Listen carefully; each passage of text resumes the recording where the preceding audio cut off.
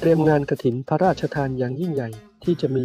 พลตรีหญิงคุณหญิงอ้อนอนงปิยนาถวชิรพัฒน์ทำหน้าที่ผู้แทนพระองค์ในการนี้ มีการเตรียมจัดแปลงนาสาธิตโคกหนองนาโมเดล ที่สวนแม่หนูเพียรของนางหนูเพียรสอนภูมิมารดาของคุณหญิงอ้อนอนงอีกด้วย วันอังคารที่ 15 ตุลาคม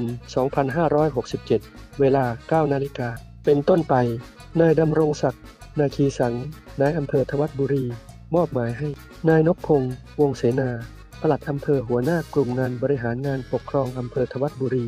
ร่วมสำรวจพื้นที่ และประชุมเตรียมการรับผู้แทนพระองค์พลตรีหญิง คุณหญิงออนอนงปิยนาถวชิรพัฒน์ด้วยจังหวัดร้อยเอ็ดได้รับการประสานจากกองพระราชทานกิจในพระองค์ 904 ว่าพระบาทสมเด็จพระเจ้าอยู่หัว ทรงพระกรุณาโปรดเกล้าให้พลตรีหญิง คุณหญิงออนอนงปิยนาถวชิรพัฒน์ เป็นผู้แทนพระองค์ ไปถวายผ้ากฐินพระราชทานณวัดท่าสแบงตำบลมะบ้าอำเภอทุ่งเขาหลวง จังหวัดร้อยเอ็ด ในวันอาทิตย์ที่ 10 พฤศจิกายน 2567 และพื้นที่สวนแม่หนูเพียนโคกหนองนาโมเดน บ้านฝั่งแดง หมู่ที่ 6 ตำบลอุ่มมะอำเภอทวัดบุรี จังหวัดร้อยเอ็ด เพื่อเตรียมการรับผู้แทนพระองค์ และจัดทำแผนการปฏิบัติในการรักษาความปลอดภัย เป็นไปด้วยความเรียบร้อย และสมพระเกียรติ